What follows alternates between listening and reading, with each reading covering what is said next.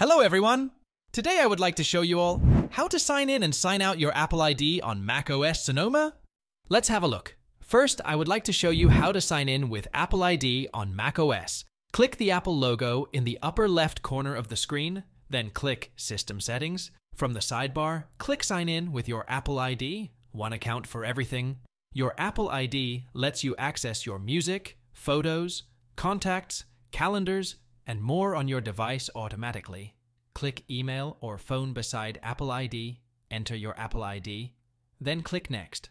Enter your Apple ID password and click Next. Now it's time to verify your Apple ID. Enter the verification code sent to your other devices. Enter the code and click Continue. Wait for some time for verification. Now you need to enter your Mac username and password. Click OK. Do you want to merge contacts and Safari with iCloud?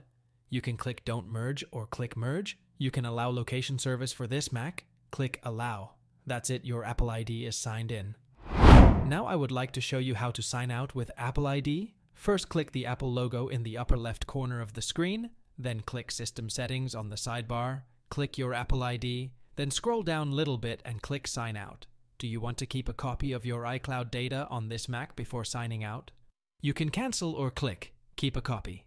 That's it. You are now signed out of your Apple ID. So these were the steps to sign in and sign out with your Apple ID on macOS.